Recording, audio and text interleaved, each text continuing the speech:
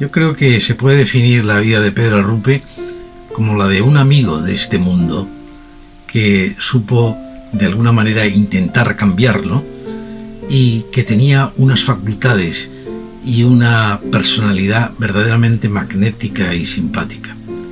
Yo creo que os va a interesar la vida y el misterio de Arrupe. Arrupe, de alguna manera, eh, representa en esta sociedad de hoy una liberación de esas ataduras que tenemos ahora los humanos y sobre todo esa injusticia social que nos oprime. Yo conocí a Arrupe eh, cuando yo tenía nada menos que o nada más que 19 años y tuve la suerte de encontrarme con un hombre que había vivido ya eh, la, la bomba atómica de Hiroshima.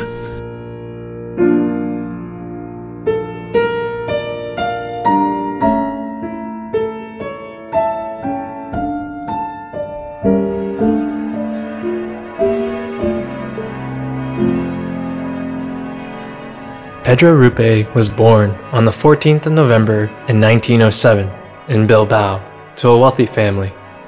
He had a happy childhood and a Christian education. When he was eight years old, his mother passed away. A Jesuit priest, Angel Basterra, came to pray for her soul, and he told Pedro, Pedrito, he said, you have lost a holy mother. And pointing to the picture of the Virgin of Begoña, which was near the body, he added, There you have your mother, even more holy and who does not die. That was when I understood most intensely that the Mother of God was also my mother. In 1923, he started studying medicine at the University in Madrid. He was a brilliant student and won several prizes.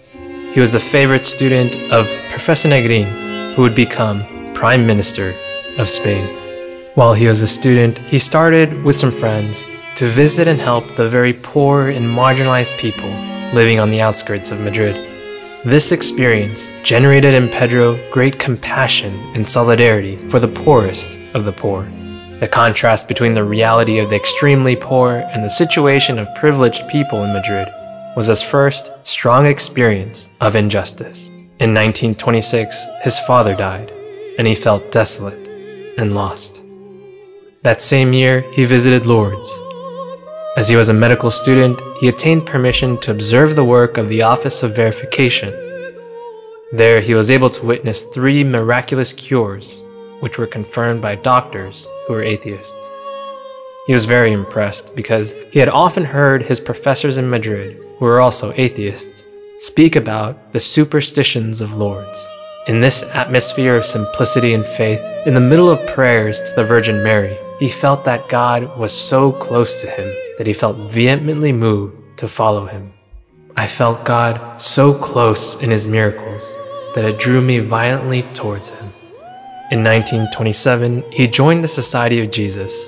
Ya desde el primer momento en el noviciado de Loyola se le, se le presenta la vida como una entrega total a los demás y una estética, diríamos, una exigencia consigo mismo.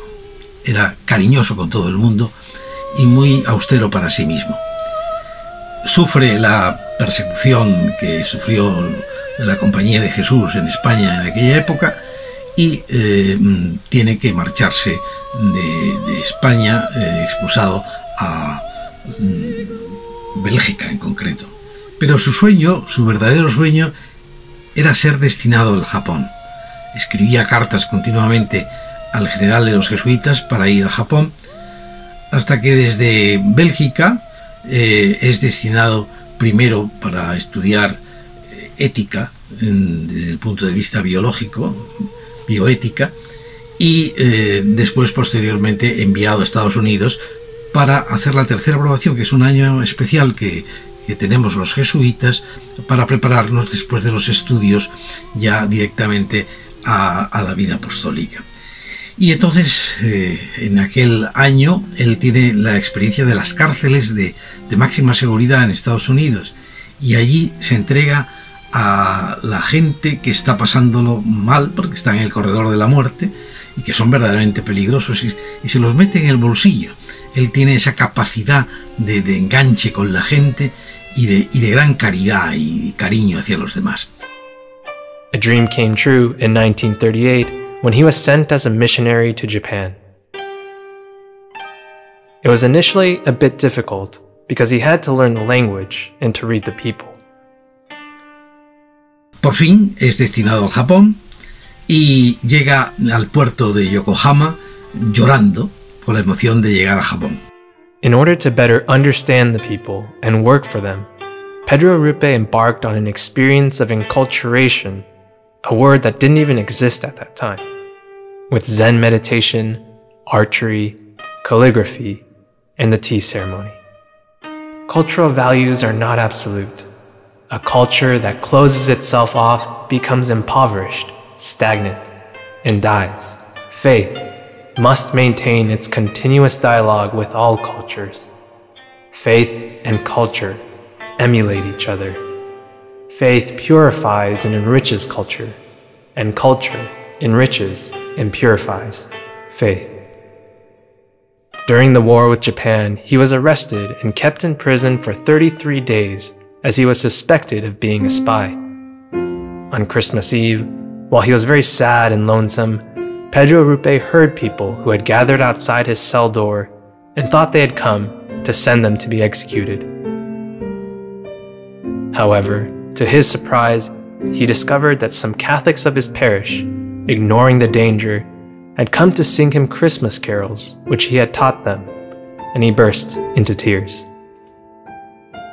His attitude of profound prayer and his lack of offensive behavior gained him the respect of his jailers and judges, who were also very impressed. He was then appointed the Jesuit superior and master of novices in Japan.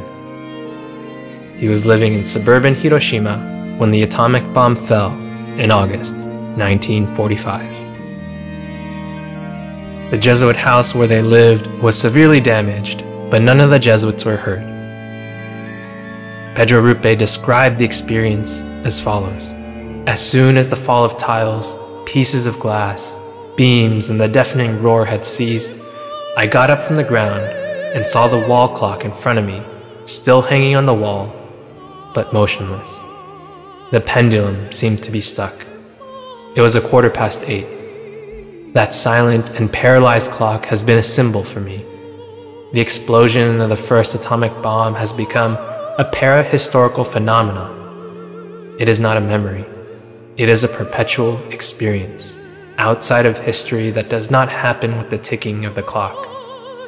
The pendulum stopped, and Hiroshima was stuck in our minds. It has no relation to time. It belongs to the immovable eternity. Father Rupe used his medical skills to help those who were wounded or dying. Que se ocupó de aquellos enfermos eh, que venían con la piel mezclada eh, con la ropa a consecuencia de la onda de la bomba atómica. Y Pedro Rupe curó a 1500 personas con una cuchilla de afeitar. In 1958, Father Arrupe was appointed Jesuit provincial for Japan. 27 intense years in Japan, which molded his life. He also had contact with Jesuits from many different parts of the world and traveled to give conferences and collect funds. He also visited Latin America, and the poverty and great faith and devotion of people there made a lasting impression on him. In 1965, he was elected Father General of the Jesuits. Lo que verdaderamente eh, cambia la vida de Rupe es cuando después de ser eh, provincial responsable de los jesuitas del, del, Japón, es elegido en Roma, después del en pleno concilio Vaticano II, es elegido general de la Compañía de Jesús. Entonces va a transformar de alguna manera eh, su eh, actuación como superior hasta el extremo de llegar a ser amigo de cada uno de los miembros de la compañía de Jesús. Más que un superior, era un amigo, un compañero. For Father Rupe, every human being, even a criminal, carries a Christian element inside of him or her. He had a daring, groundbreaking, creative spirit that somehow produced a rereading of St. Ignatius of Loyola for today's world. He had a very friendly and magnetic personality the only thing that remains always and everywhere, that guides and always helps me, even in the most difficult circumstances and in the most painful misunderstandings, is always the love of our only friend, who is Jesus Christ. He was profoundly human and touched by social injustice and worried by the problems of humanity.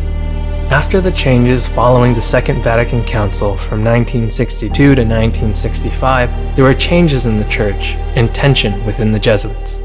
His ideas against racism, his reform of the educational ideology, his fight against social injustice and atheism, and his openness were not accepted by some people in the Church and even by some of the more conservative Jesuits.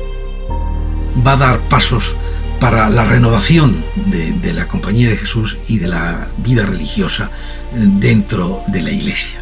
Esto le va a suponer un cierto rechazo de algunas personas muy conservadoras y también incluso del propio Vaticano. Pero él va a aceptar todo eso de una forma admirable, con una fuerza interior y una humildad increíble. He thought that the Jesuits should speak a language appropriate to the hearts and needs of people of their time and was very much ahead of his time. But like many other prophets, he was not understood and accepted by many people.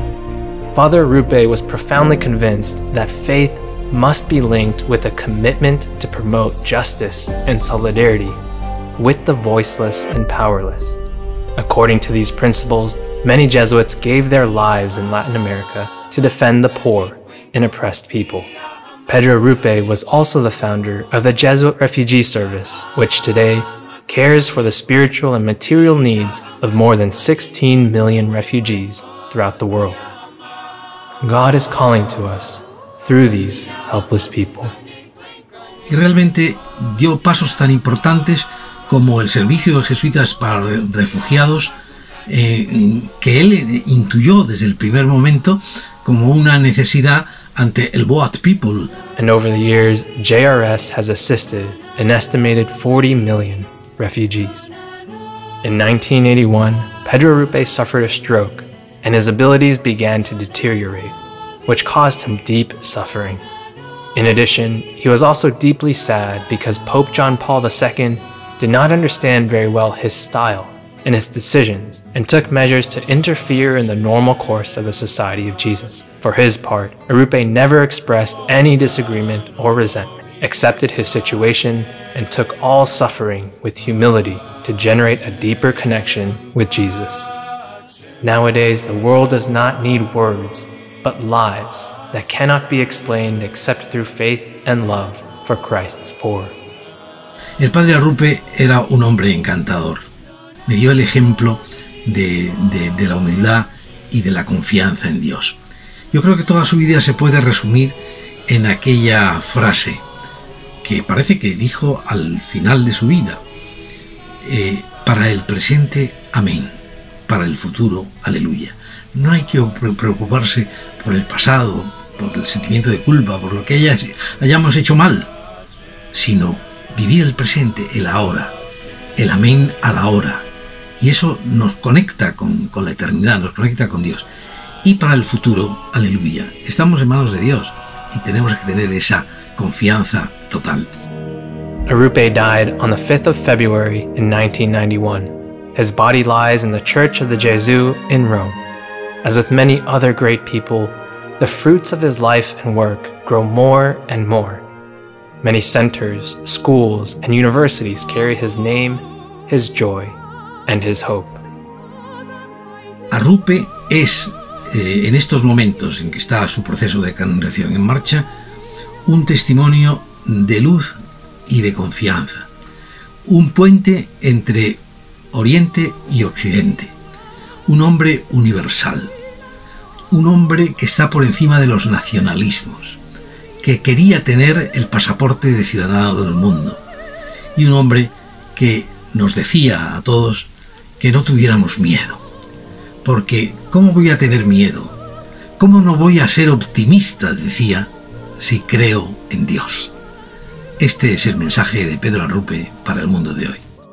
I cannot resign myself to the fact that when I die, the world will go on as if I had not lived.